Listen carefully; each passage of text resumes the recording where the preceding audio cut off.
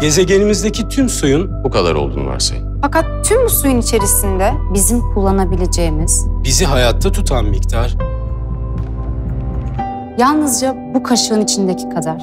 Bugün alacağımız önlemlerle suyumuzu korumak mümkün. Suyu bilinçli kullan. karbon ayak izine dikkat et. İhtiyacın kadar tüket. Kirletme. Dönüştür. Hayat doğaya saygı duyarak devam eder. Suyumuzu koru, Geleceğimizi koru.